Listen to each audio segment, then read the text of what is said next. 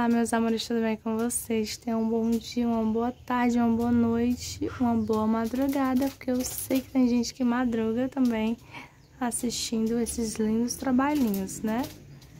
É, gente, hoje eu vim mostrar pra vocês como saber se essa rosa do deserto é simples ou como saber se ela é dobrada. Dobrada, o botãozinho nasce assim, olha. Dobrada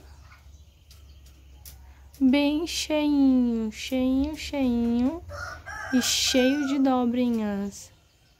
Já a rosa do deserto, simples, a florzinha simples, ela é muito é, fininha e alongada. Vou mostrar pra vocês. Olha só, ela é, ela é simples, aquela rosa do deserto, ela é simples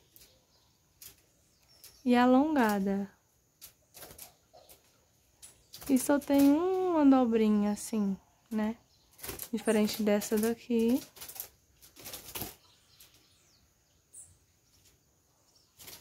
Olha só, gente, que lindeza. Olha só, essa daqui é um flor simples, como dá pra vocês verem.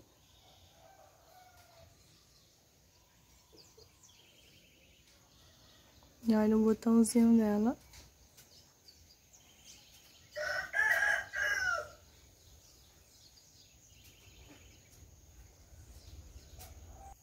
Então é isso, pessoal. Um beijo no coração de vocês. Espero que vocês tenham é, adquirido um pouco desse conhecimento, tá bom?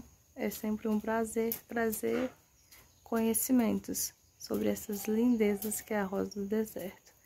Então, é assim. Elas estão lindas. Todas as minhas rosas do deserto estão florindo, graças a Deus. Um beijo no coração de vocês e até o próximo vídeo.